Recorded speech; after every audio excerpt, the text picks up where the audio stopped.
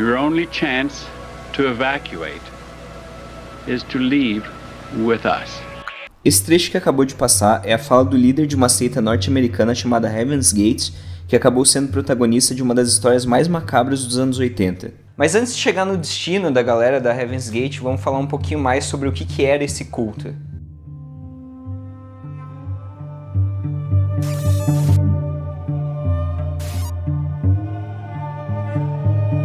A Heaven's Gate basicamente surgiu quando um cara chamado Marshall Applewhite, que curtia estudar umas profecias bíblicas, ele conheceu uma enfermeira chamada Bonnie Nettles. O Marshall ele já tinha seus problemas pessoais e psicológicos ali, e ele sentiu uma conexão muito forte com a Bonnie, como se ele conhecesse ela de outra vida. E ela também não era a pessoa mais lúcida do mundo e afirmava que alienígenas tinham profetizado já aquele encontro dos dois porque ela achava que ela podia se comunicar com aliens. E foram justamente essas crenças pessoais deles que formaram a base para as crenças da Heaven's Gate. A seita tinha como principal crença que Deus ele era na realidade um ser alienígena que vivia em outro plano, é, muito além desse espaço que a gente conhece. Mas talvez a crença mais preocupante era de que todo esse nosso universo visível ele é uma espécie de experimento, um holograma, um, assim, um simulacro. E isso anos antes de Matrix ser uma coisa. Até aí tudo bem. O problema é que eles achavam que essa simulação ela estava em vias de acabar, ia rolar tipo um soft reboot do universo. E de acordo com a crença deles, só quem tivesse elevado espiritualmente nos ensinamentos ali do grande paizão, Deus Rei do universo da porra toda, ia pegar uma carona na nave dele, que a partir daqui antes de todo o universo basicamente virar bosta. Dá pra ver que a religião dos caras era meio que um Frankenstein ali de cristianismo com Baudrillard. Baudrillard, filósofo e sociólogo francês, muito interessante, escreveu Simulacro e Simulação, bagulho que inspirou Matrix, procurem.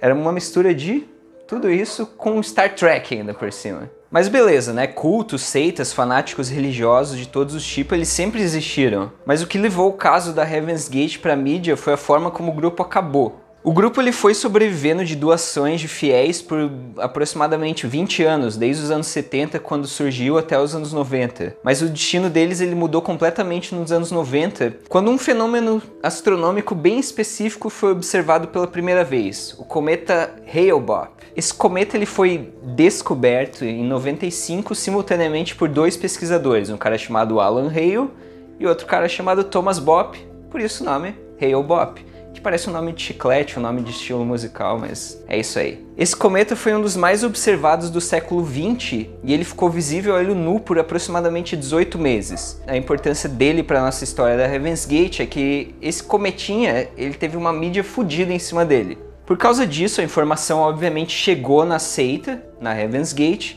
e a conclusão que a galera chegou é que o cometa Hale-Bopp, ele estava puxando a nave espacial do deus alienígena deles, era tipo o cavalo do, da carroça. Com isso, a prioridade virou outra, porque agora, segundo as palavras do próprio fundador da Heaven's Gate, o Applewhite, era o momento de evacuar o planeta Terra antes dele ser reciclado. E a Heaven's Gate, como mensageiros do verdadeiro deus, precisavam se livrar desse invólucro material para se limpar se limpar de todas as impurezas do mundo terreno, das delícias do mundo terreno, e assim se levar a um plano mais evoluído de existência, né? Aquele reino que está além desse nosso simulacro. E a forma que eles encontraram para fazer isso, infelizmente, foi cometer suicídio. E foi exatamente isso que eles fizeram.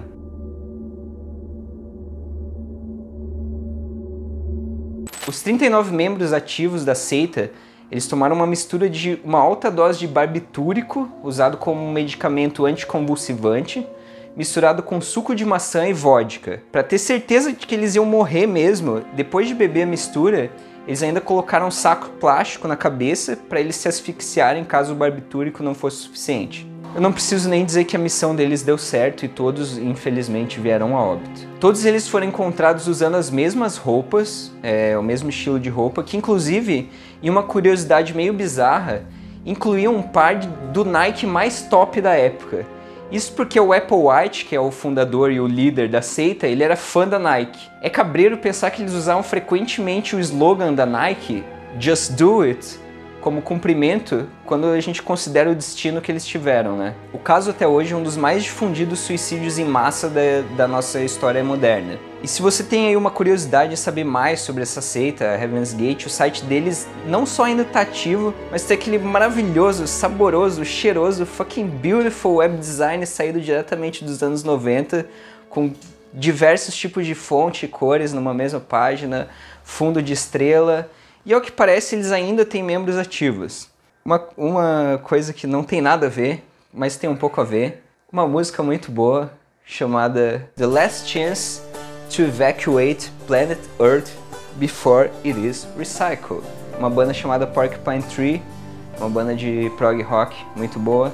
Inclusive essa, essa música ela usa uns trechos sampleados é, de um dos últimos vídeos que o Apple White, né, um dos últimos vídeos que ele fez, eles pegaram uns trechos de áudio desse vídeo e colocaram na música. Isso daí é interessante porque uma das coisas assim pelo qual foi tão difundida a Heaven's Gate é porque ele frequentemente gravava esses vídeos e é uma coisa bem cabreira. A questão é que eu particularmente acho bastante trágica a história dos caras e eu não acho que seja uma, uma questão de, de vilanizar a parada, porque eu acho que todos eles, é, especialmente os líderes da seita, eles tinham vários problemas psicológicos e eles acabavam encontrando ali um acalento naquela seita que eles criaram e eles acabaram sendo consumidos ali pelas próprias crenças deles. Infelizmente vieram a falecer por causa disso. Mas né, fica aí a lição pra galera: cuide de você mesmo. Pegue leve nas suas crenças, não se limite a acreditar em tudo e todos. Cuidado com a fake news principalmente. Então fica um beijo aí para vocês, meus queridos coleguinhas, amiguinhos, meus chuchuzinhos. Até a próxima. Now you can say, well, I can't believe that.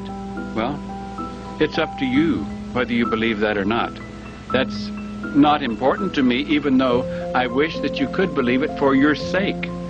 For those who do believe it, stand a possibility of a future beyond this recycling time.